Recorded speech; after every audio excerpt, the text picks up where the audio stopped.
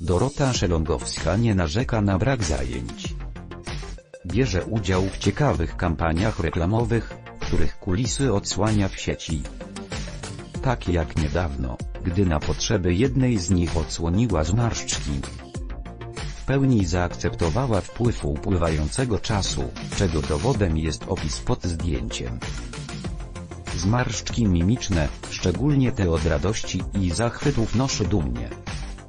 Ale czas nie stoi w miejscu, komentuje pod zdjęciem. Dorota prowadzi programy, które cieszą się sporą sympatią wśród widzów.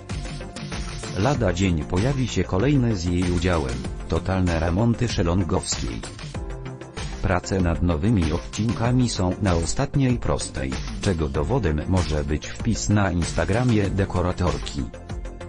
Gwiazda poinformowała, że właśnie nagrywają czołówkę do nowej produkcji. Na jej potrzeby dekoratorka przeszła małą metamorfozę. Fryzjer ujarzmił włosy Doroty i nieco je wygładził.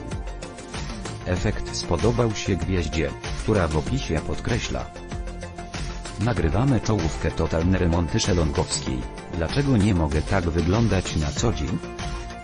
Cudowny Maciej Wroblewski Official, który ujarzmił moje włosy, tak, że sama mogę sobie robić fryzury i furdyna machełp której nigdy nie doścignę, nawet jak mnie nauczy konturować. Zachwyceni internauci komplementują przemianę. W komentarzach piszą, że w takim wydaniu jest jej bardzo do twarzy.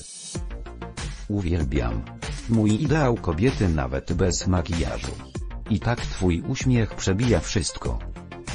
Na co dzień jesteś naturalną pięknością a w TV niczym Magda Mołek. Super. Efektownie się prezentujesz.